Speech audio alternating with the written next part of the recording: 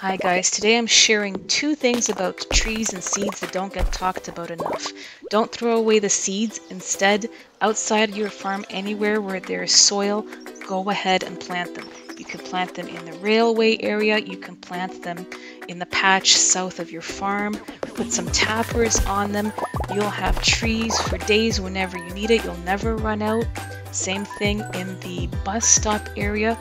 You can plant and put tappers there. So if you want to make more barrels, you'll always have oak resin on hand. You'll have maple syrup for your honeybee boxes if you need.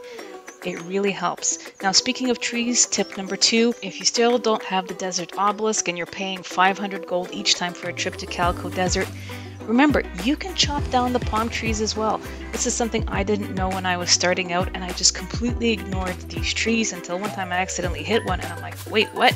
I can actually chop these down?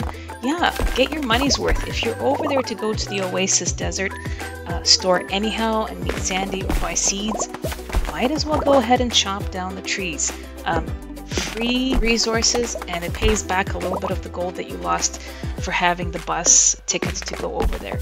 So hope this tip helped guys. Again, do not throw out your seeds, plant them everywhere that you can. You won't be sorry.